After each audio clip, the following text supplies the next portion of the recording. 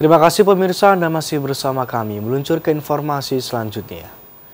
Pemirsa libur panjang Isra Miraj Bandara Juanda Surabaya dipenuhi penumpang arus balik. Terhitung sejak minggu pagi hingga minggu siang, situasi kepadatan di terminal domestik atau internasional nampak terjadi penumpukan. Diprediksi puncak arus balik liburan panjang pekan ini terjadi kemarin karena hari ini aktivitas perkantoran maupun proses belajar mengajar kembali normal.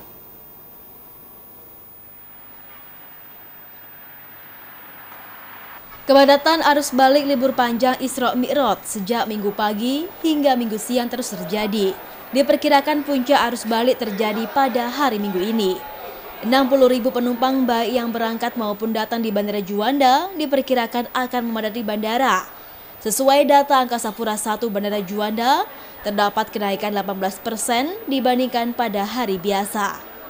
Penumpukan penumpang di ruangan check-in domestik Bandara Juanda Surabaya kebanyakan didominasi calon penumpang yang usai melakukan liburan di beberapa destinasi wisata di Jawa Timur.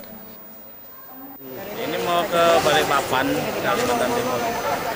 Ini habis liburan anak-anak ya? Liburan anak-anak besok sudah masuk, jadi sudah terakhir. Kenapa pilih hari ini, Pak? Ya karena tiket susah, jadi dapatnya hari ini. Oh gitu. Sudah full semua. Sudah full semua ya? Iya.